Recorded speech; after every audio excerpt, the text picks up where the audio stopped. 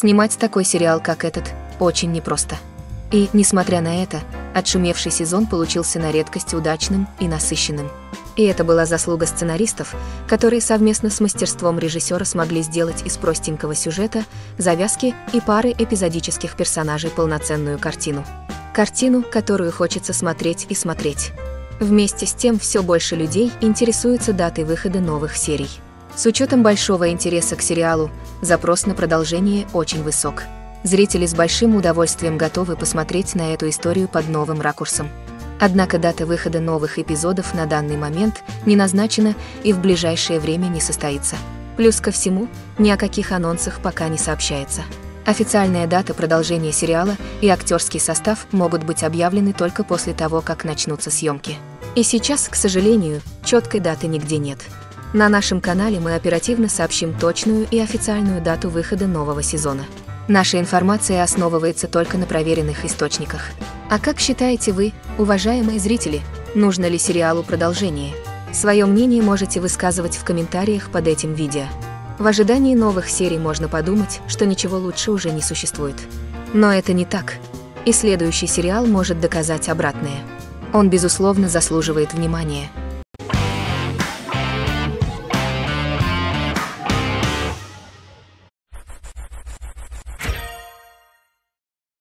Самом начале сериала Леонидас припеваючи живет в своем поместье и довольно улыбается, в то время как знаменитый генетик и его друг с именем Альбири – рассказывает ему о клонировании животных.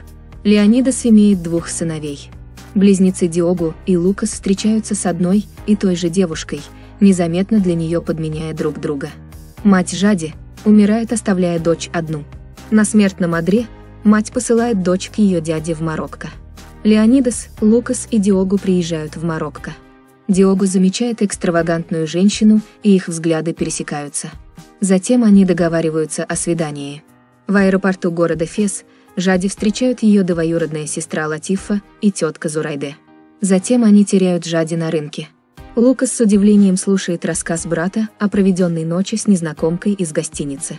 Леонидас рассказывает сыновьям, что собирается жениться и вот-вот познакомит их со своей избранницей. Вскоре Жади находится и едет с женщинами знакомиться со своим дядей Али. Они остаются наедине, и Алли требует, чтобы Жади прикрыла голову и привыкала к мусульманским традициям. Леонидас представляет сыновьям свою невесту, это Иветти. Диогу не ожидал, что невестой отца окажется та женщина, с которой он недавно провел ночь, и импульсивно уходит. Лукас запирает его в комнате, боясь, чтобы брат не наделал глупостей. Затем он сопровождает Альбери в гости к его другу Али. Он бродит по дому и видит Жади, танцующей для сестер. Увидев его, женщины пугаются и кричат. Али дает пощечину племяннице. Леонидас открывает дверь и освобождает Диогу. Бразильская индустрия по праву занимает одну из ведущих позиций в мире. По уровню зрелищности, занимательности сюжетных линий, игры актеров, ее продукция вполне может конкурировать с американскими и европейскими образцами этого вида телевизионного искусства. Атипичные для Латинской Америки эмоциональность, многословность и сентиментальность только добавляют пряную экзотическую ноту в этот коктейль. Данная теленовелла – одна из ярких представителей этого бренда. Премьера в России состоялась на Первом канале 16 февраля 2004 года. С сентября 2013 года повторы серии шли на телеканале «Мир», а с 14 июля 2014 года прошел показ сериала на телеканале «Ю».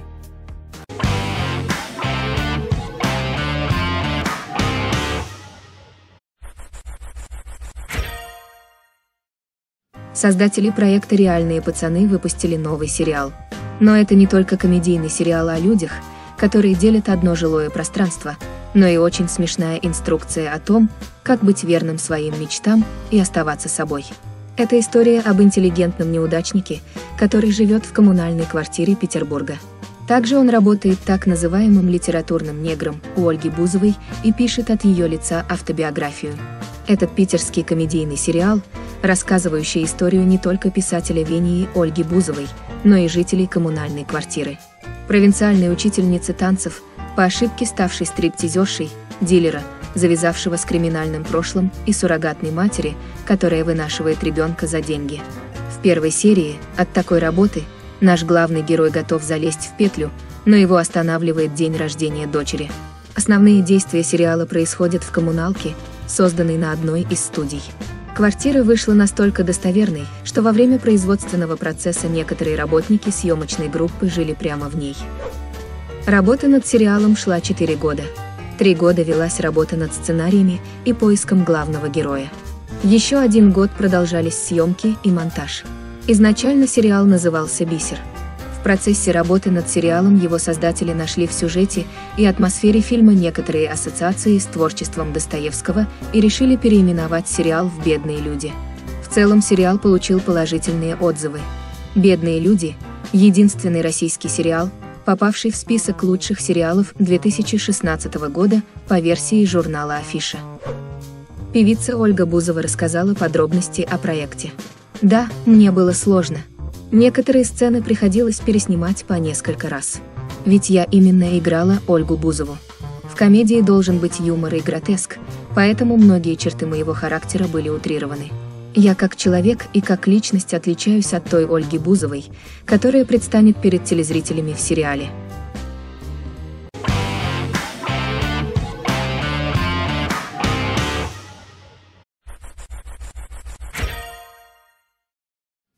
В первой серии показываются события, которые предшествуют проявлению симптомов у пациента.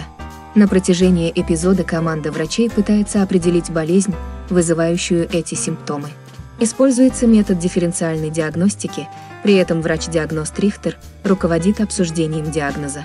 Его интересуют только самые сложные и запутанные случаи, проще говоря, медицинские головоломки. Рутинная работа в больничной поликлинике навевает на него скуку и раздражает. Рихтер избегает разговоров с пациентами, поскольку твердо уверен, что они лгут. В прошлом Рихтер перенес сложную травму на бедре, инфаркт четырехглавой мышцы. И теперь он ходит, опираясь на трость, и пьет сильные обезболивающие. Рихтер самоуверен, заносчив, резок и циничен, не обременяет себя соблюдением правил хорошего тона и временами кажется, что сочувствие и сострадание ему чуждо. Строить личные и профессиональные отношения он не умеет и, кажется, не хочет. Люди, находящиеся рядом с ним, становятся объектами насмешек и провокаций, за которыми бывает непросто рассмотреть искреннюю заботу. За создание российского «Доктор Хауса» взялся телеканал «Россия-1». Главную роль эксцентричного врача в русской версии сыграет Алексей Серебряков. Режиссер Андрей Прошкин рассказал детали о сериале. Рихтер – циничный, замкнутый и одинокий. С сардоническим чувством юмора, как и доктор Хаус. Но, на мой взгляд, он не лишен сострадания. Для него сострадание выражается через действие, а не через общение или похлопывание по плечу. Мы старались сделать персонажей не пустой калькой, а достоверными для нашей действительности. Герои должны оставаться живыми, чтобы за ними было интересно наблюдать. Поэтому какие-то вещи мы оставляем как в оригинале, но меняем детали и интонацию. Первоначально предполагалось, что премьера четвертого сезона сериала выйдет в свет осенью 2020 года. В дальнейшем, однако, было объявлено о переносе сначала на февраль, а потом на октябрь 2021 года.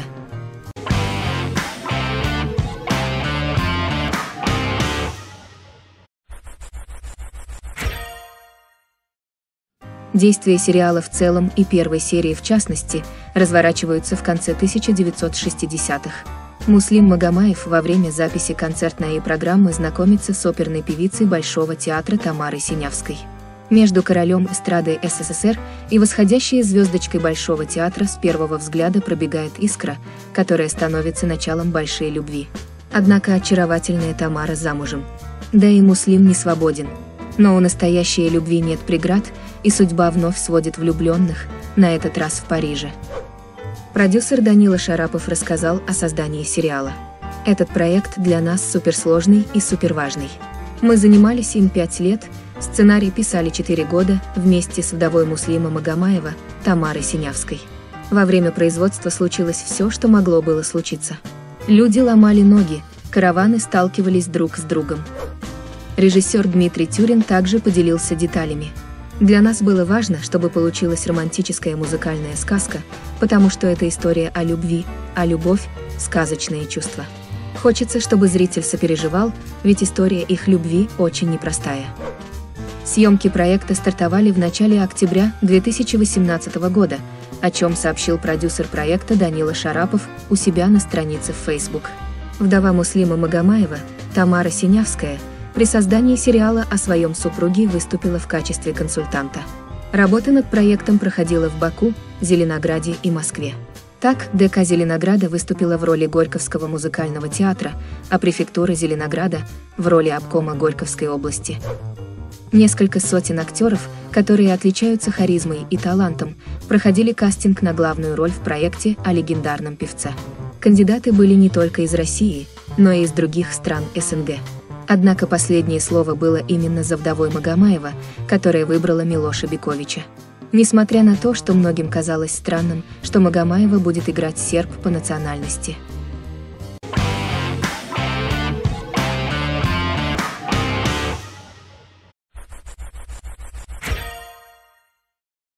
Основная часть событий знаменитого сериала происходит в студенческом общежитии. Также в сериале регулярно показывается кафе, аудитории вуза, особняк на Рублевке, кабинет с видом на Московский Кремль, ресторан и клуб. Сюжет первой серии строится на том, что персонаж Саша сбежал из университета в Лондоне, где изучал финансы, и поступил на астрономическое отделение физического факультета одного из московских вузов. Сильвестр Андреевич, его отец, хочет вернуть своего сына к прежней жизни, но тот желает жить в народе и хочет всего в жизни добиться сам. Нежному мажору предстоит жить в одном блоке с вечно колотящим по груши каратистом Кузей, общажным лавеласом с именем Гоша, отличницей Таней и блондинкой Аллой, начинающей свой день с чашки растворимого кофе. Параллельно с этим с героями сериала приключается много забавных и смешных ситуаций. Их пятеро. Все они разные и у каждого есть свои особенности в характере. Они живут в соседних комнатах, у них общая кухня, туалет и ванная. У них больше нет выбора, кроме как искренне полюбить друг друга, чем они периодически и занимаются. Им очень весело, они дружные и глупые. Сериал максимально приближен к реальной жизненной обстановке. Актеры неплохо справляются со своими ролями. Сюжет у сериала очень простой и немного неправдоподобный, но учитывая, что это комедийный сериал, то сюжет не так уж и важен. Со временем проект стал развиваться, появились новые персонажи. Главные роли исполнили Андрей Гайдульян, Виталий Гагунский, Мария Кожевникова, Валентина Рубцова, Арарат Кищан и другие. Сценарий был написан Вячеславом Дусмухаметовым, известный по таким работам, как «Папины дочки» и «Шесть кадров», а также Семеном Слепаковым, известный по таким работам, как «КВН», «Камеди Клаб», «Наша Раша» и «Прожектор Пэрис Хилтон». Премьера первой серии состоялась в далеком 2008 году, и сериал моментально завоевал любовь у зрителей. Создатели не стали останавливаться на первом сезоне и выпустили еще несколько. В 2021 году сериал реанимировали. Теперь его новое название – «Универ 10 лет спустя».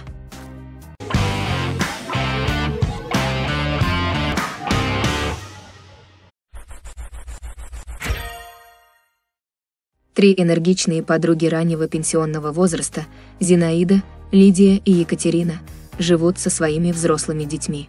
Ежедневный вечный квартирный вопрос переплетается для них с такой же вечной темой отцов и детей. В один из прекрасных дней дамы решают уехать и освободить детей от своего общества. Втроем они отправляются в путешествие, в конце которого становится очевидно, жизнь, когда вырастают дети, не закончена. В первом эпизоде Устав от отсутствия внимания и откровенного прозябания на пенсии, старушки решают пожить для себя и уезжают из города. Они отправляются навестить их четвертую подругу Полину, с которой не виделись почти 15 лет. Дети, испуганные внезапным исчезновением матерей, пытаются установить их местонахождение. Сериал представляет собой современную мелодраму с элементами комедии. Режиссером стал дебютант Иван Бычков. А над сценарием работал Вадим Тартаковский – знаменитый своими работами «Бабоньки», «Герасим» и «Все будет хорошо». Основное действие разворачивается на фоне Волжских берегов, Коломенских церквей и московских двориков. Фильм снимали в Коломне и в Дальнем Подмосковье, а в работе над картиной принимали участие актеры Коломенского театра и местные жители. Продюсер сериала Наталья Серова рассказала о деталях проекта. Человеку в любом возрасте недостает любви. Особенно женщинам – у которых взрослые дети. А разделить проблемы с подросшим чадом рядом не с кем. Вот и получается, что милые дамы несут героически свой крест. С одной стороны, непонимание и вечный конфликт родителей и детей, с другой стороны, нерастраченной любви. Актриса Татьяна Орлова также поделилась подробностями о проекте. В сериале мне нужно было водить машину. У меня есть права, и я умею это делать. Но на съемках автомобиль был непростой. «Волга» 61 -го года выпуска. С нею раньше я, конечно, не сталкивалась. Мало того, что переключение передач находится на руле, так еще и нет усилителя. Чтобы повернуть руль или нажать на педаль сцепления, приходилось прилагать немалые усилия. Это трудно. Более сложного, чем этот автомобиль, я ничего в жизни не водила.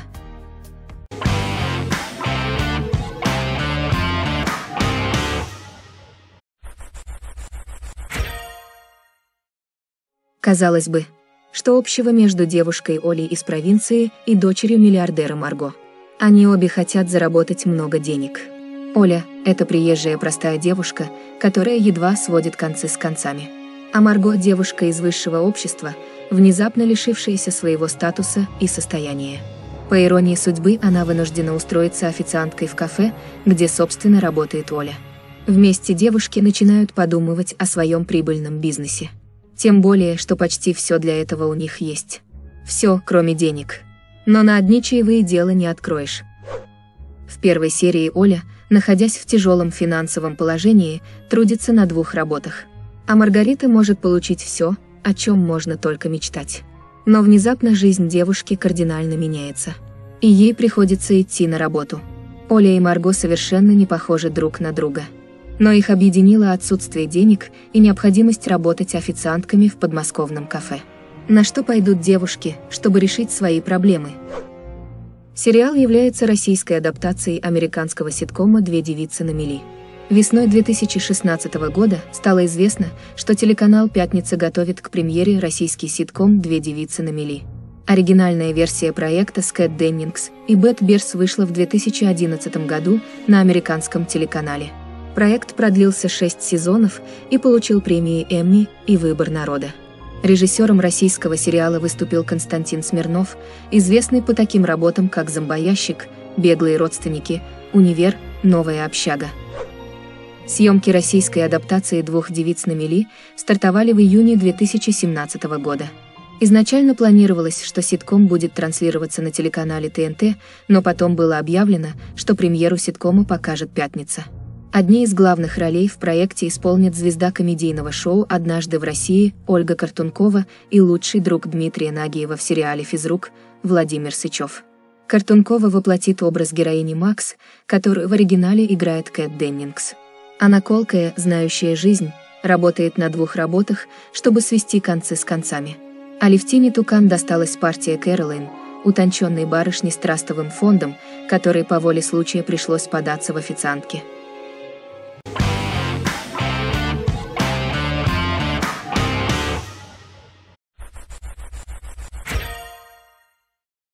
Хаят родилась в небольшом провинциальном городке. Вместе с двумя своими подругами она переезжает в столицу. Другой главный герой по имени Мурат – красавец и богатый наследник. Их первая встреча была наполнена ненавистью, однако через некоторое время между ними вспыхнуло настоящее чувство. Молодые люди отчаянно полюбили друг друга. Но смогут ли они пронести свою любовь через многочисленные трудности и испытания? Премьера турецкого романтического сериала с элементами комедии состоялась 15 июня 2016 года.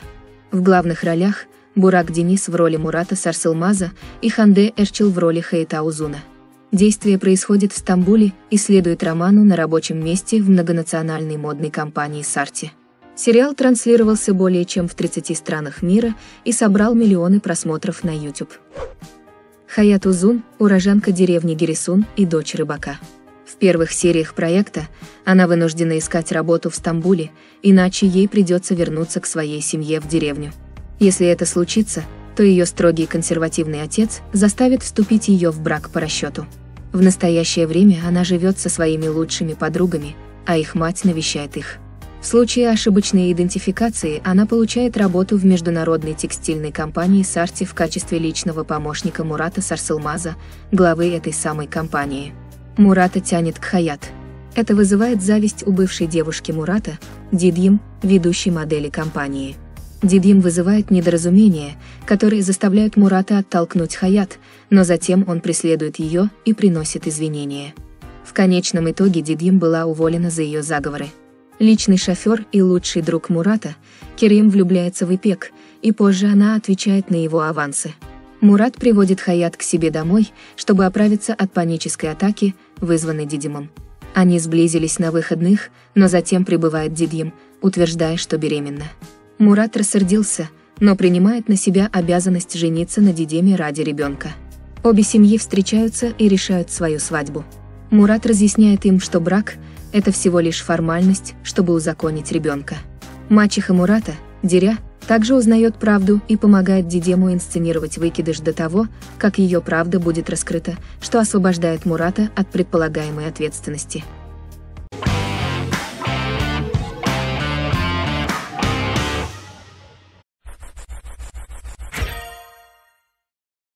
Сериал является российской адаптацией популярной британской и американской теленовеллы «Бесстыжие» 2011 года. В центре сюжета многодетная семья, в которой отец-алкоголик пытается в одиночку воспитывать шестерых детей. Он алкоголик со стажем, живущий в свое удовольствие. К сожалению, вопрос о благополучии детей не входит в круг его первостепенных задач. Брошенным на произвол судьбы детям приходится самим учиться выживать. С самого детства они привыкли надеяться только на себя. Ни отец, ни мать ребят не обладали необходимыми для родителей качествами. Они только и делали, что пили и развлекались. Когда мать бросила семью, а отец ушел в продолжительный запой, дети вздохнули с облегчением. Непутевые родители только усложняли их и без того непростую жизнь. Теперь дети живут под присмотром своей старшей сестры, которая делает все возможное режиссер сериала Антон Маслов прокомментировал подробности сюжета. Мы стремились к документальной правдоподобности, но старались сделать так, чтобы эта история не была черной. Наш проект про оптимистов и для оптимистов. Сложно сравнить эту картину с другими отечественными проектами. Эксперимент, который сочетает в себе провокацию и в то же время железобетонную драматургию. Подобного у нас еще не было. Получилась история про необычную русскую семью, которая не унывает при любых жизненных ситуациях. Пока они вместе, они сила. Съемки сериала происходили в подмосковном городе Щелково, а по сюжету все события разворачиваются в вымышленном городке Мамоново. Актер Алексей Шевченков рассказал детали проекта. Это тот редкий случай, когда адаптация получилась не хуже оригинала. Я специально не смотрел британскую версию до начала съемок, а посмотрел уже после окончания работы. На мой взгляд, наша версия получилась более захватывающей. В первом эпизоде старшая дочь главы семейства Катя в условиях полной нищеты пытается заменить и отца, и мать. Она пытается хоть как-то заработать и вырастить младших братьев. Отдыхая в клубе со своей подругой Оксаной, которая снимает со своим парнем комнату у Груздевых, Катя знакомится с симпатичным парнем Дэном, зарабатывающим на жизнь весьма оригинальным способом.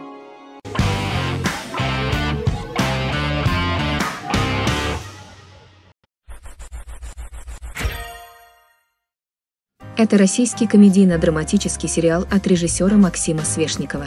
Одна из его работ – известный мультипликационный фильм «Алёша Попович и Тугарин Змей». А сам сериал повествует о Евгении – которая потратила три года на борьбу со смертельной болезнью и, наконец, вышла победителем. Только вот оказалось, что здоровая Женя никому не нужна.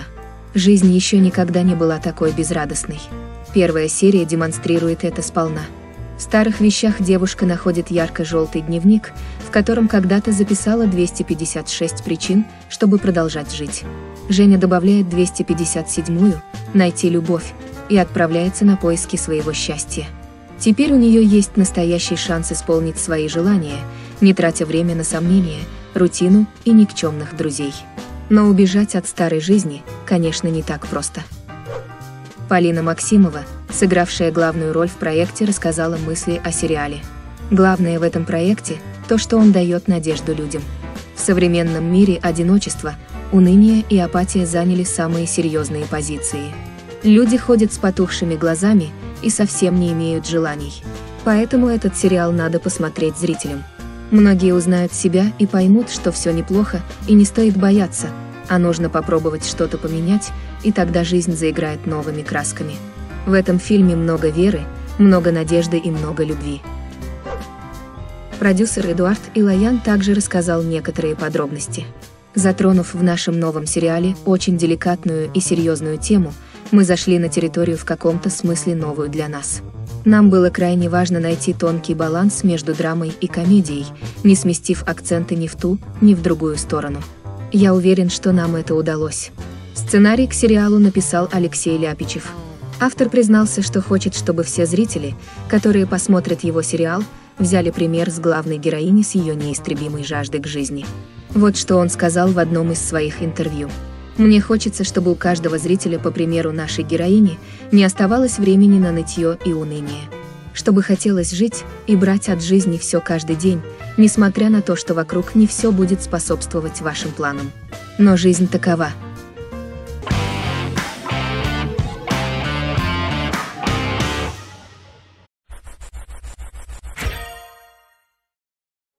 Вторая половина XV века. Москва. Последние правители Византии палеологии бежали в Рим. После смерти первой жены, князь московский Иван III получает предложение послов из Рима жениться на юной византийской принцессе в изгнании по имени Зоя Палеолог. Иван III отправляет в Рим доверенного воеводу Хромова и своего нанятого монетного мастера, итальянца Фрея. В первой серии послы привозят Зою из Рима в Москву, где при повторном крещении она принимает новое имя – Софья. Однако, став великой княгиней московской Софьей, Зоя Палеолог не оправдала надежд Папы Римского по расширению влияния католической церкви на Руси. Попытки посылать эмиссаров с целью убедить Софью следовать линии Рима, а в дальнейшем убить ее, заканчиваются провалом. В сериале показаны наиболее яркие моменты правления Ивана III, война с Новгородской республикой, ссора и дальнейшие перемирия с братьями Борисом Володским и Андреем Большим. Также показан выход из-под власти Золотой Орды и противостояние между Софией и Еленой Волошанкой, которая является женой старшего сына Ивана III. Съемки сериала начались в ноябре 2014 года и проходили как за границей, так и в России. Для съемок на территории ВДНХ была выстроена декорация Московского Кремля, соответствующая его историческому облику 15 века. Тогда он был белого цвета, вместо привычного для нас красного. Специально для фильма реквизиторы нашли антикварную посуду и утварь того времени. Для проекта было сшито более тысячи костюмов. Тысячи россиян посетили выставку о создании этого телепроекта. К съемкам сериала были привлечены консультанты и эксперты. В телевизионном фильме с высочайшей точностью воспроизведены костюмы и предметы быта эпохи. Также телезрители увидят сцены сражений и природных катаклизмов, тайны и интриги средневекового великокняжеского двора, любовь и ревность, колдовство и покаяние. Перед художниками по костюмам в фильме стояла очень сложная, но невероятно интересная задача. Одеть весь великокняжеский двор Москвы XV века – и абсолютно каждый костюм должен смотреться художественно ярким, выразительным, ведь это одна из главных составляющих образа.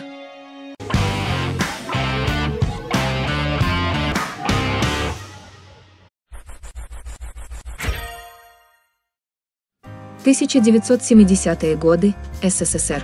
Главная героиня, 16-летняя Соня, живущая как большая часть советской молодежи, с верой в идеалы и светлое будущее. Но внезапно она сталкивается с темной стороной жизни. Она влюбляется в молодого человека по имени Сергей, который знакомит ее с другим законом. Не советским, а воровским. Воровской закон заставляет Сергея предать их с Соней любовь. Этот закон отнимает у Сони отца, губит мать, брата. Сама Соня чудом остается жива. Она спаслась, но теперь ею движет неукротимое желание истребить этот проклятый воровской закон. И начинает она с Сергея первой серии, во время празднования своего дня рождения, на даче погиб директор одной из местных фабрик, Литвинов Павел Петрович. Он отказал людям криминального авторитета немца поднять процент уплаты налога в общак. Через год семья Литвиновых оказывается в бедственном положении, и мать начинает выпивать. Младшая дочь Соня оканчивает школу и мечтает поступить в театральный институт. Чтобы отметить годовщину смерти отца, старший сын Игорь пытается продать фирменный продукт и попадает в КПЗ. Там он знакомится с Сергеем. Когда Соня встречает Игоря, ее видит Сергей. Он очарован девушкой. У них начинается роман. Действие многосерийной криминальной ретродрамы разворачивается в 1970-е годы в СССР. Сам телесериал создан на 8 серий, сценарий к которому написали Валентин Емельянов и Илья Рубинштейн. За режиссуру сериала отвечал Станислав Титаренко, известный телезрителям по проекту «Счастье мое». Главную роль в сериале сыграла актриса Соня Метелица, для которой съемки в этом проекте стали первой столь масштабной работой. Режиссер Станислав Титаренко описал этот сериал так. Криминальная драма с динамично развивающимся сюжетом, от которого будет невозможно оторваться. Но фильм не про месть, а про любовь. А ретро 70-х годов – а динамика сериала и музыкальное сопровождение очень современные.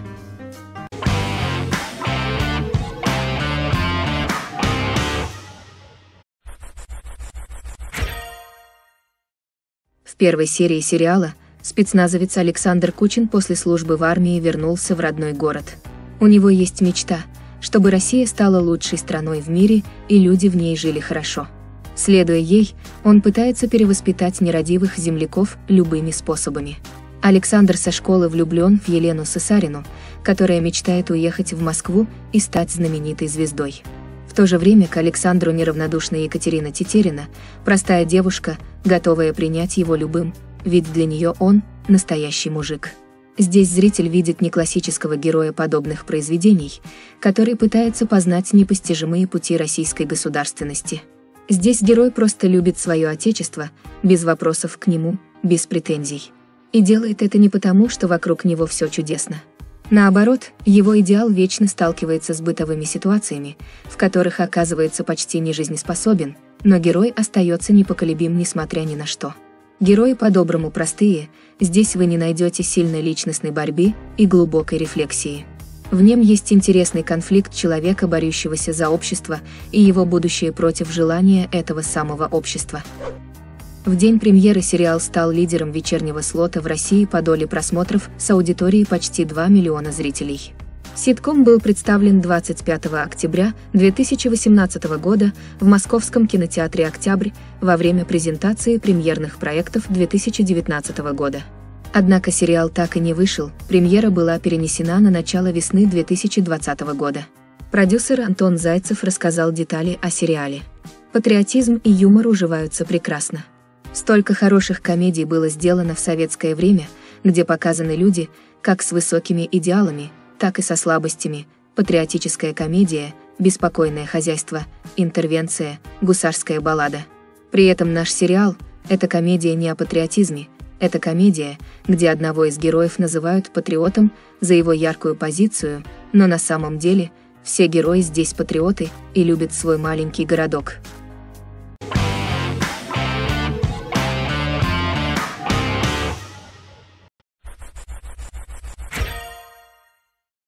Действие сериала происходит в 1946 году. Прошедший войну Денис Журавлев возвращается после фронта в родные края в звании лейтенанта. Он на себе ощутил все ужасы военных действий. Теперь же, намереваясь защищать простых граждан от преступников, Журавлев вступает в ряды милицейской службы. Начальником отделения, под руководством которого начинает работать Денис, является майор Шумейко, носящий красноречивое прозвище «Сатана». У него была непростая судьба, но именно такой темперамент и сложный характер помогает ему вычислять преступников и отправлять их за решетку. Появление Журавлева в отделении милиции совпадает с началом масштабной операции по поимке криминальной банды. Главой этой банды является человек по кличке Клещ. Помимо того, что он очень жесток, преступник еще и крайне хитер и изобретателен. Стандартными методами вывести его на чистую воду и арестовать будет очень сложно. Для этого будет необходим четко разработанный план. Именно на эту задачу и ставят лейтенанта Журавлева. Именно так стартует этот проект – Андрей Бурковский поделился своим мнением о сериале. Это большой проект, и мы все активно готовились к съемкам, репетировали, встречались с режиссером и другими артистами, обсуждали детали. Я смотрел фильмы про послевоенные времена, чтобы освежить в памяти ту эпоху. Меня привлекла сама роль, история и время, в котором происходят события. Послевоенная тема очень интересна и глобальна. Мне вообще интересны исторические проекты, особенно когда крутой сценарий. Интересные факты. Мини-сериал снимали в Подмосковье, главным образом на территории заброшенных заводов. Роль маленького закрытого города сыграл Морозовский городок в Твери. Релиз сериала состоялся 16 февраля 2021 года на стриминговом сервисе. Сериал стал третьей работой для Андрея Бурковского в жанре исторического фильма.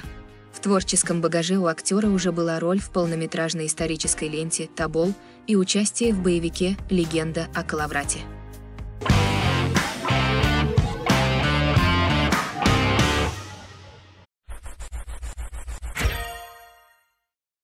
Они вернулись в свою страну после Афганистана, но страна стала совсем другой. Они рассчитывают только на себя. Они доверяют только друг другу. В одном из уральских городов совершено дерзкое ограбление. Похищены 145 миллионов рублей. Грабитель бывший афганец Герман Неволин, водитель инкассаторской машины. Что толкнуло его на преступление? Почему он принес в жертву все, чем дорожил? Дружбу и любовь. В дебютном эпизоде пять инкассаторов получают в кассе торгового центра большое количество наличных денег. Все инкассаторы – бывшие воины-афганцы. Среди них водитель фургона по имени Герман Неволин с говорящей кличкой «Немец», а также старший группы Виктор Басунов. По дороге в банк немец грабит собственную инкассаторскую машину. После ограбления он успешно прячется за городом, прячет мешки с деньгами в лесу и направляется в деревню под названием Ненастье. Премьера первой серии состоялась 12 ноября 2018 года. В 2020 году сериал стал обладателем премии «Золотой орел» в номинации «Лучший телевизионный сериал свыше 10 серий». Драматический сериал снят по роману ненастьи Алексея Иванова, автора проекта «Географ Глобус пропил». В основе сюжета лежит реальное событие, произошедшее в Перми в 2009 году. В этой социальной и психологической драме есть элементы брутального боевика и детектива о судьбе человека, прошедшего войну в Афганистане. Писатель Алексей Иванов рассказал о сериале. Ненастье – не просто дачный поселок, а целый мир, который 10 лет наматывался на колеса старого автобуса с афганским прозвищем Барбухайка. Взгляд Сергея Урсулика, режиссера фильма, чутко уловил вечную русскую хтонь, экзистенциальную бездну национального существования – но есть свет и воздух. Есть вера, надежда и любовь. Осенью 2015 года стало известно, что канал «Россия-1» выкупил права на экранизацию романа. Роман, по которому знаменитый режиссер взялся снять сериал, стал одним из самых ярких явлений российской прозы. В 2016 году этот роман стал лауреатом премии «Большая книга».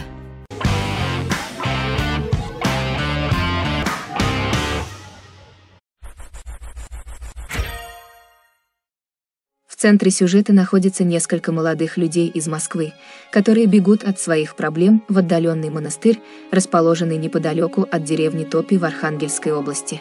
Всего их пятеро. Умирающий от рака создатель популярного мессенджера Денис, журналист провластного медиа Максим, которому дали редакционное задание найти компромат на Дениса, Катя, которую накануне свадьбы бросил жених и которая боится постареть, чеченка Эля, которую пытаются насильно выдать замуж и которая скрывается от жениха, и Соня, девушка из строгого православного рода, переживающая из-за смерти сестры. По прибытии герои выясняют, что монастырь заброшен, местные жители ведут себя крайне странно, а затем и вовсе один из молодых людей пропадает. Решив остановиться в деревне, они начинают поиски и все больше погружаются в мир топи, полный тайн. Первая серия повествует о молодых москвичах, которые познакомились в интернете с целью совместной поездки в деревню Топи. Они хотят побывать в старинном монастыре, где по легенде сбываются все мечты, а человек может избавиться от своих бед и проклятий.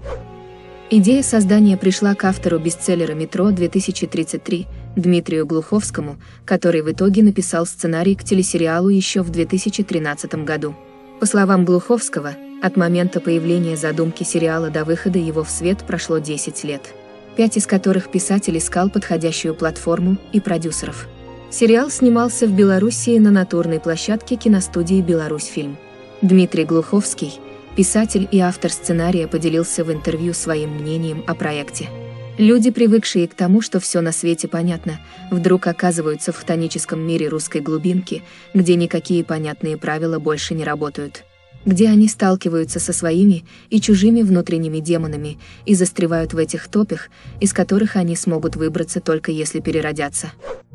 Главные роли исполнили Максим Суханов, Иван Янковский, Тихон Жизневский, Катерина Шпица, Софья Волочинская и Анастасия Крылова. Данный проект был создан специально для онлайн-кинотеатра «Кинопоиск HD».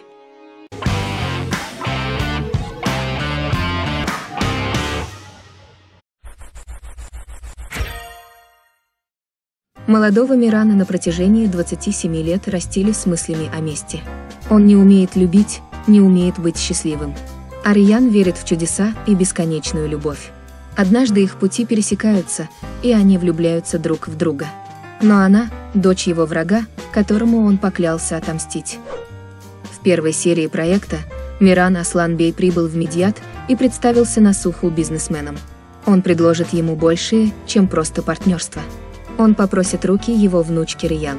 Однако глава самого властного семейства в городе, Насух, имеет свои планы на Мирана.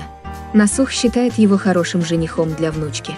Он отдаст Мирану внучку, однако не ту, которую любит. В то время, как Насух будет пытаться уговорить Мирана, он не будет подозревать о планах, которые есть у Мирана относительно него. Пока все будут находиться в ожидании решения мужчин, новость, пришедшая в особняк, глубоко затронет жизни Риян и Ерен и главным образом изменит их. Какое влияние окажет на судьбы двух семей история любви, которая начнет зарождаться на многовековых землях Медиата? Сумеет ли эта история воссоединить харизматичного бизнесмена Мирана и Риян, о красоте которой говорит весь город? Миран делает предложение семье Риян забрать ее в жены. Семье приходится согласиться. Девушка счастлива, ведь она понимает, что влюблена в него. Наступает день хны. Молодым людям предстоит пройти через многие испытания и трудности на пути к счастью, а также остановить многолетнюю вражду между своими семьями. Несмотря на то, что сериал снимается по книге, мало того бестселлеру, сценаристы решили увести действие подальше от страниц романа, пообещав зрителям сюрпризы. Интересные факты – Сериал снят по книге молодой турецкой писательницы Сумеи Коч. Сказка о любви и мести моментально стала бестселлером в Турции. И, конечно же, она стала предметом пристального внимания со стороны телестудий. Премьера данного турецкого сериала состоялась 15 марта 2019 года на турецком телеканале ATV. «Сказка о любви, рожденная из мести», является слоганом сериала. Более 100 стран приобрели права на показ проекта.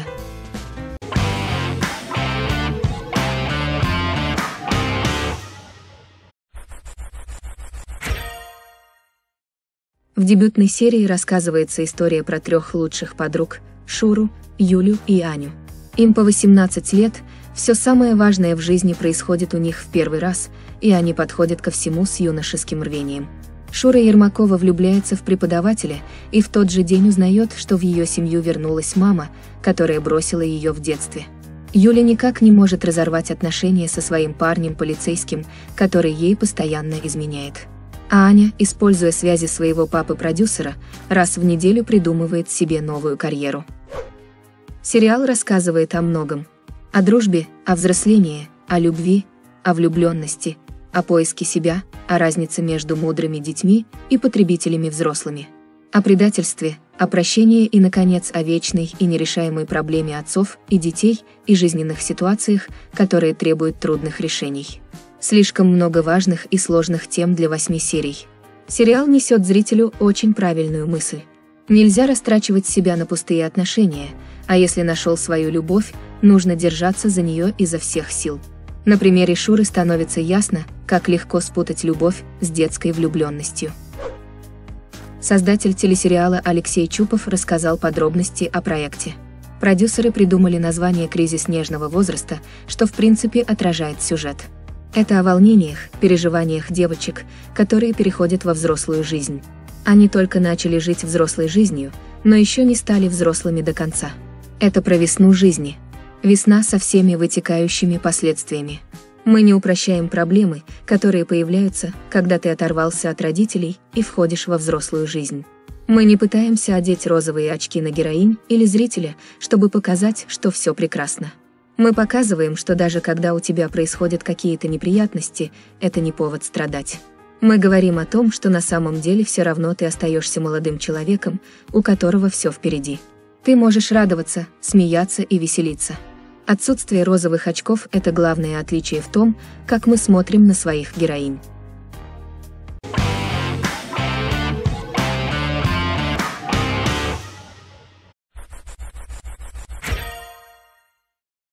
Середине 1990-х криминальный авторитет Витя Мясник внушал страх коммерсантам и конкурентам по опасному бизнесу.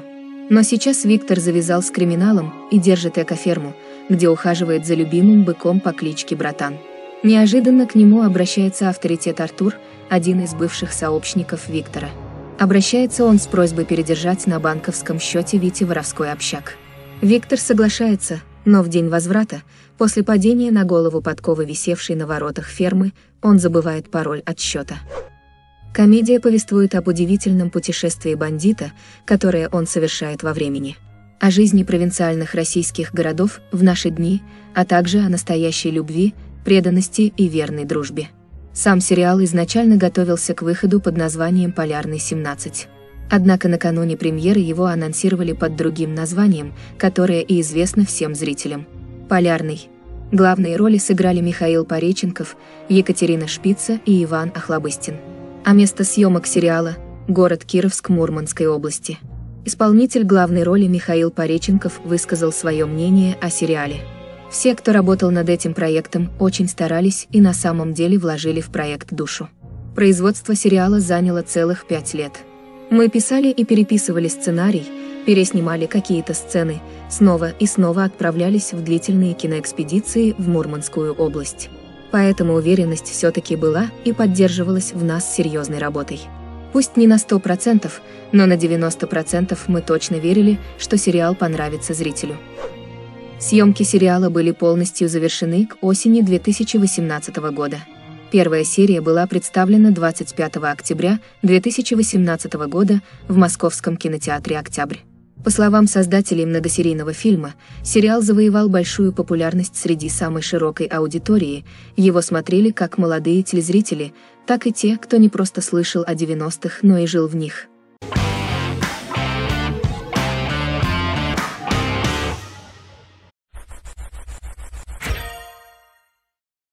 Они не знали друг друга до того дня, пока в одном клубе их не отравили неизвестным ядом. И теперь тем из них, кто не умер на месте, предстоит выполнить несколько заданий загадочного кукловода. Он единственный в мире имеет антидот. Если задания будут выполнены, то наградой для выживших станет противоядие. В первой серии нескольких молодых людей, оказавшихся в трудной жизненной ситуации, судьба сводит в баре «Фантом». Дэн – безработный музыкант, нуждающийся в деньгах. Марина – амбициозная журналистка, чья новая статья грозит ей увольнением и судебным разбирательством. Саша пытается помочь единственному брату, угодившему в тюрьму. Славе необходимо скрыться после неудачного взлома базы данных. Хмурый, бывший сотрудник спецслужб, решает немного подзаработать. А Грег оказывается не в том месте и не в то время. Как только клуб заполняется посетителями, происходит нечто странное – в борьбе за свои жизни они должны будут получить ответы на главные вопросы, кто организовал смертельный квест и почему для его прохождения были отобраны именно они. «Пройти, чтобы выжить» является слоганом сериала. А премьера состоялась 26 октября 2015 года. Съемки сериала стартовали 24 апреля 2014 года в Риге. Режиссера Андрея Загидулина создатели пригласили на проект, увидев в интернете его короткометражный фильм «Наблюдатель». Ему устроили череду проверок, он делал наброски кадров сериала, снимал тизер, доказывал, что умеет работать с группой, а также прошел процесс согласования своей кандидатуры с телеканалом СТС. И только после этого с ним был подписан договор. Специально для сериала несколько художников вручную сделали часть артефактов – медную шкатулку с секретом, металлический шар, шифровальную машинку, шприц. В процессе съемок было задействовано более 150 локаций в столице Латвии и ее окрестностях. Длинные волосы у героя Павла Прилучного были выбраны для того, чтобы подчеркнуть творческую профессию его героя Дэна. Согласно сюжету, он музыкант и диджей. Латышских актеров в сериале озвучил известный переводчик эпохи видеокассет Андрей Гаврилов. Сам сериал был впервые анонсирован в 2013 году.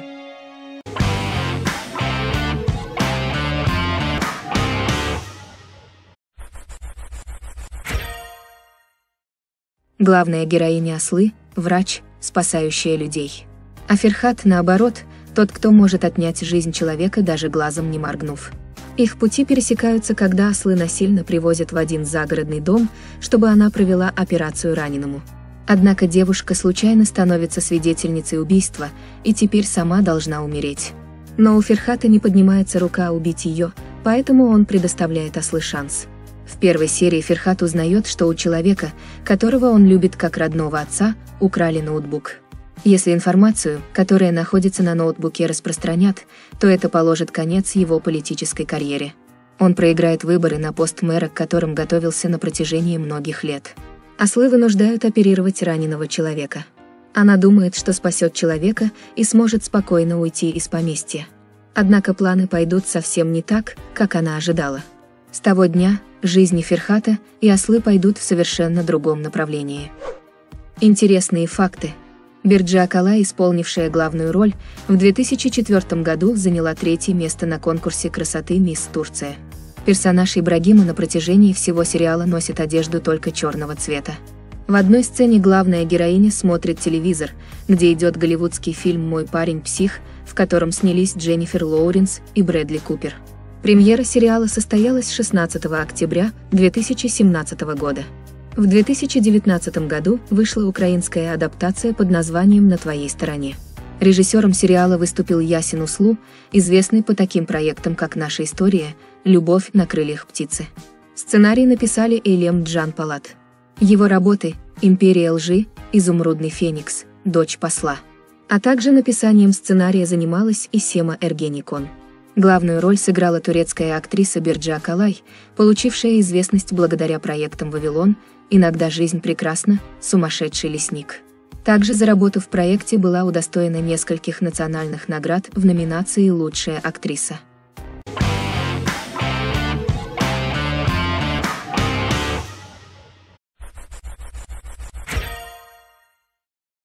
Главный герой сериала «Медиатор» переговорщик Андрей Павлов, обладающий редким даром коммуникации и возможностью управлять людьми любыми способами. Для Павлова не существует запрещенных приемов. Он готов соблазнять, обманывать, переходить все границы ради достижения своей цели. Он тот человек, который приходит к врагам и в считанные секунды устанавливает с ними контакт. Но основной его доход идет от крупного бизнеса. Он помогает там, где люди не могут договориться. И делает это за очень большие деньги. Для каждого случая он меняется до неузнаваемости. А невероятную способность к перевоплощению он развил в детстве. Именно это помогало ему строить непростые отношения с матерью. К тому же он настолько хорошо чувствует людей, что давно не верит никому. Даже себе. Новая задача Павлова – это убедить наследников знаменитого академика продать долю в компании. Но помощь переговорщика нужна не только крупному бизнесу. Актриса Дарья Мороз сыграла в сериале девушку Веру со сломанной судьбой и истерической натурой. Ее персонаж росла с деспотичным отцом, в результате чего переняла у него позицию манипулятора. Во всех несчастьях она винит других и свято верит в свою беззащитность. Герой Бурковского для Веры – идеальный мужчина. Он насквозь видит ее и умеет нажимать на нужные кнопки, ловко управляя поведением и делая больно. Дарья Мороз прокомментировала – для меня это история о том, как один манипулятор сталкивается с еще более ловким манипулятором. А еще это новый персонаж в моей биографии, который отличается от всего того, что я играла до этого. Актриса Ирина Старшинбаум Сыгравшая в сериале дочь героини Анны также говорила, что режиссер Артем Аксененко предложил ей создать эпатажного персонажа с характером, не похожего на положительные образы, которые она ранее воплощала на экране. Кинематографист при работе с актерами применял непривычный, по словам актрисы, метод работы, запрещая им использовать привычные и понятные приемы. Старшинбаум заинтересована в персонаже Бурковского, его методами работы и воспринимает их отношения как игру. Как итог, первая серия была высоко оценена зрителями. Высокий рейтинг проекта обеспечил продолжение для этой истории.